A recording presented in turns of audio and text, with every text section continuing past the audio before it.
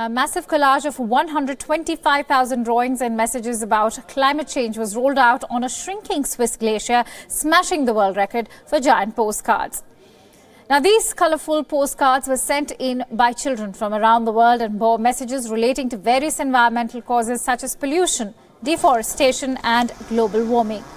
Climate change activists hope that the giant postcard will convince more people, especially youth, to get involved in issues related to climate change.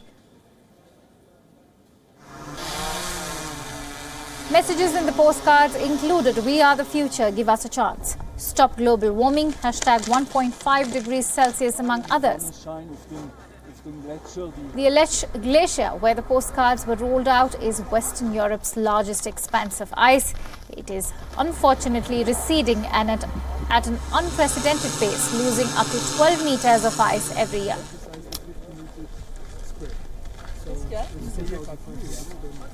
We need ambition from every government that is going to be there. We need no deniers. People need to realize that climate change is real.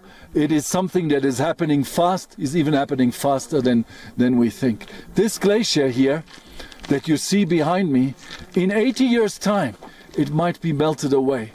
The kids who have wrote, written these postcards, when they come back here, maybe in 80 years' time, they might not, they might see rocks and stones. That's how serious the issue is.